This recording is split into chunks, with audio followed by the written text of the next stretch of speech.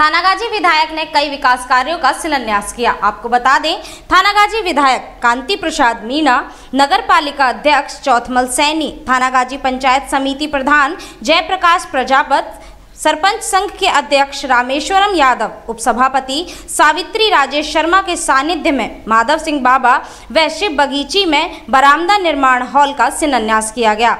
विधायक कांति मीणा ने post office से एसबीआई बैंक की ओर जाने वाली गली सहित कई सीसी सड़कों का शिलान्यास किया। इस मौके पर सैकड़ों ग्रामीणों ग्रामीणों के साथ जनप्रतिनिधि वहाँ पर मौजूद रहे। अभी तक माधव सिंह बाबा बाबा के स्थान पे सामुदायिक भवन का काम होना है।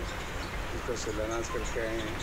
दूसरा ये शिव बगीची के अंदर बरामदा निर्माण होगा जिसका शिलान्यास अभी है, जिसकी लागत बीस लाख रुपए की है और बाकी काम आगे और हैं जिनके शिलान्यास होंगे। ये सारे नगर पालिका के चेयरमैन और नगर पालिका पार्षदों की वजह से इस नगर पालिका जो विकास हो रहा है, इसमें सभी लोगों की तरफ़ से मदद से, मनसा से एक धार्मिक स्थान पर ज़्यादा से ज़्यादा काम हो इसलिए शिव बगीची और माधु सिंह बाबू के स्थान पर कार्य कर रहे हैं।